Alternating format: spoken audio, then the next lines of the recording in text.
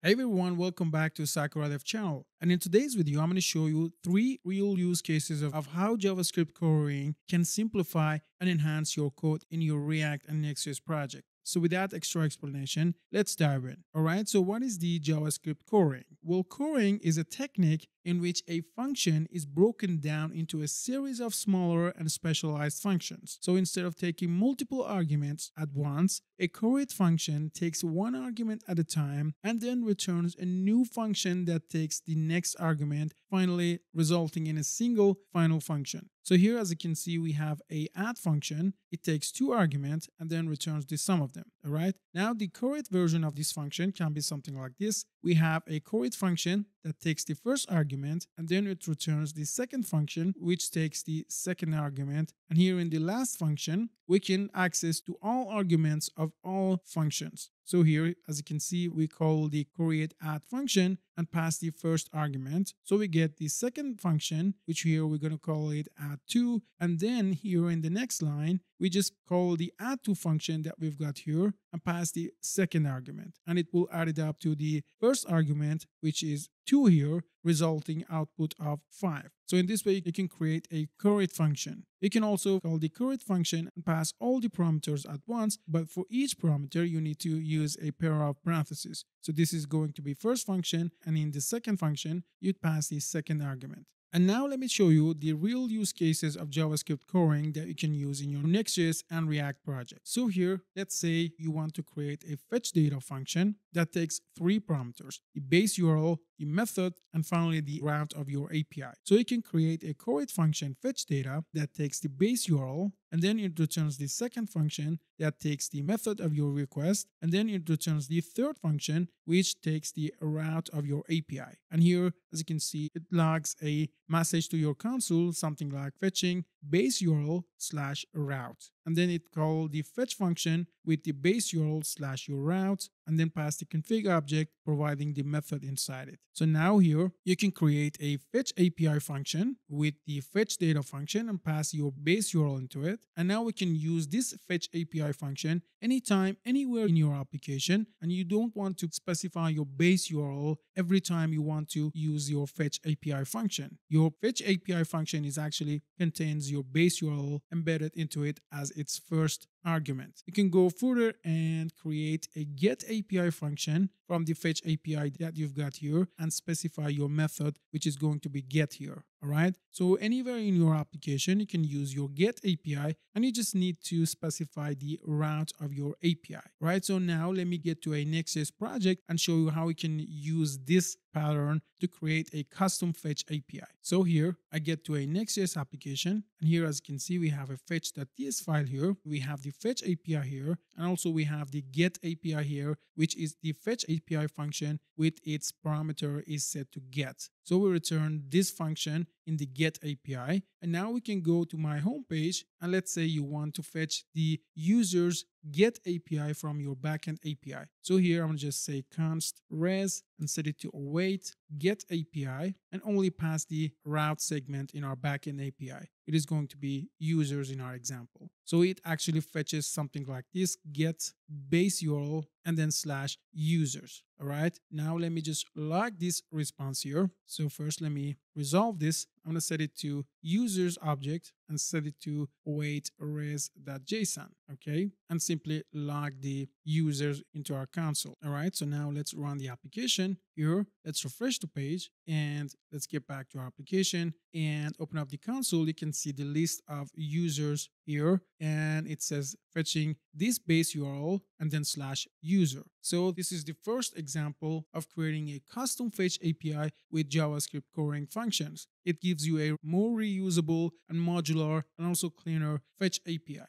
So now let's go on to the next example, which is about handling events. So let's say that we have a button and we have a onClick event on that button. And for the onClick event, we need to pass a callback which takes e And here we call the handle click function. And this handle click function takes two arguments. The first one is going to be item and the second one is the event. So we will console like item and also the event type. So here, as you can see inside the callback, we call this function as these two arguments, item one, for example, and event to this onClick event. So now let's go back to our Next.js application. And here we have another page component. You can see the handle click event. It takes two arguments, item and the event. And for each of these two buttons, we just pass a callback function and then inside it, we call the handle click function. So now let's transform this handle click function to a curried function and see how it can actually improve your code. So here, first let me turn this function to a curried function. It should take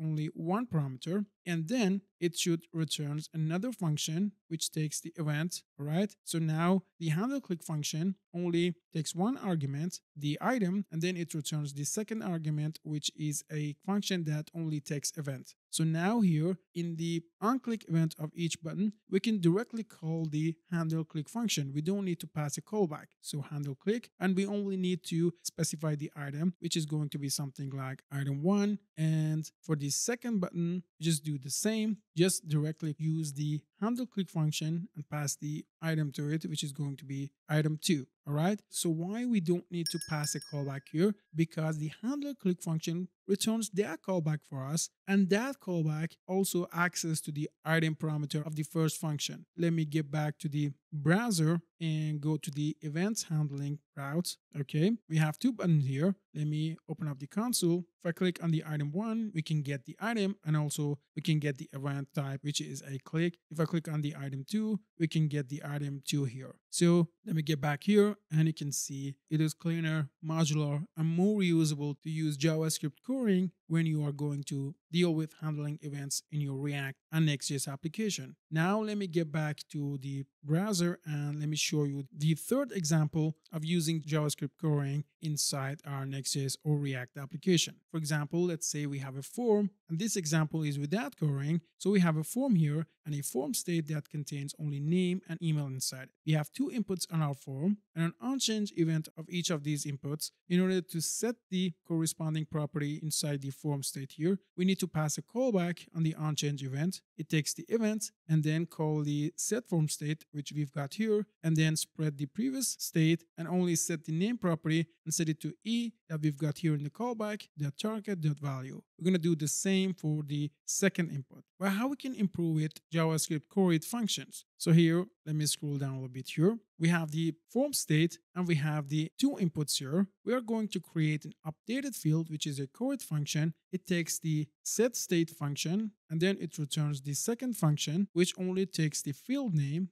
And then finally, it returns a function that takes an event. And inside the third function, we call the set state parameter function, which we've got in the first function and spread the previous state and set the field name which we've got in the second function and set it to events which we've got in the third function, the target.value. So as you can see, this function, which is the third function, it is exactly of type that the onChange event of the input can take. So here inside our component, we just create a handle input function and call the updated field function our core function, and we just need to pass the update state function, the set form state function actually. And here inside the onChange event of our inputs, we just call this function and pass the second argument of the core which is the field name here, and it returns this function, which can be used as the callback for the onChange event. It returns a function that takes an event, and then inside that function, we are going to update our state. So let me go back to the Next.js and see how we can use it in action.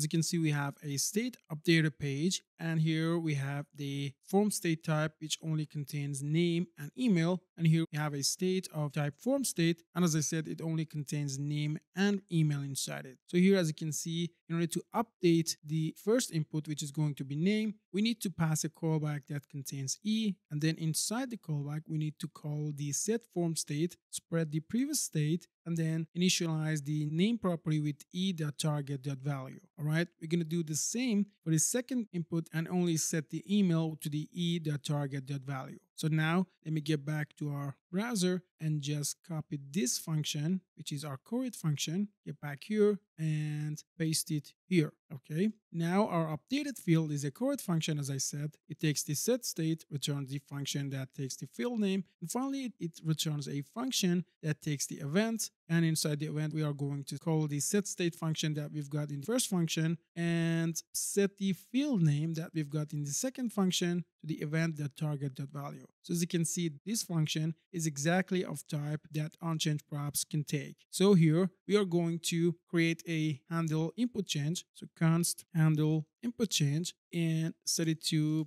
update field curried function. And we only need to pass the set form state function okay? Now here it returns actually this function. So we only need to specify the field name. Here instead of this callback we just call the handle input change and specify the fields that we are going to update which is going to be name. And here as you can see it returns this function which takes the event and set the name property to the event.target.value as you can see, it's much more cleaner. And we don't need to pass a callback at all. All right. Now let's do it with the second onChange event. Just pass the handle input change and pass the name of the field that we are going to update, which is going to be email. That's it. And as you can see, our code is now more reusable, more modular, and cleaner. So now let's go to the browser to test this. I go to the state updater. And as you can see, we have two inputs here, name and email. We put some gap between those two inputs, like gap 5. Okay. Now we have the two inputs here. So if I open up the console and before doing that, let me just console log the form state. Okay, now get back here, go to the console, clean up the console, and here, let me pass something inside the form state. You can see the name is set accordingly. Now let me put something inside the email. And here, as you can see, the email is set accordingly. So yeah, that's it, how we can use JavaScript currying in our Next.js and React projects. And I provide you with three real world examples. I can also provide another video for using the JavaScript currying inside a Nest.js backend application. It's a little more complex, but when using JavaScript currying with your Nest.js, you can see you have a much cleaner and reusable code with your Nest.js application. So if you want me to create another video for JavaScript currying use cases in the Nest.js backend application, please let me know in the comment section below and I will create that video. So that's it for this video. Don't forget to like and subscribe to support me on YouTube. I really appreciate your support. This really matters to me. So have a nice time and see you in the next video. Bye bye.